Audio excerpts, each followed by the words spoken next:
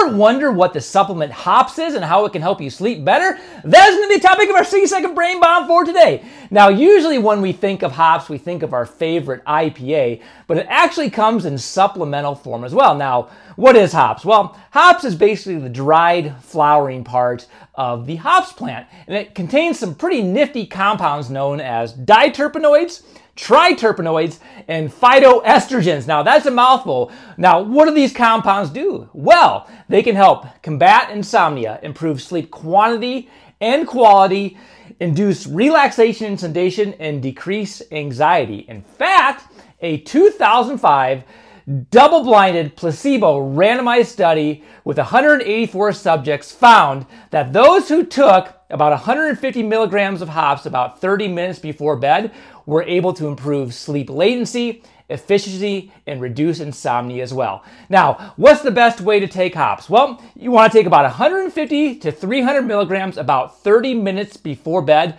preferably on an empty stomach.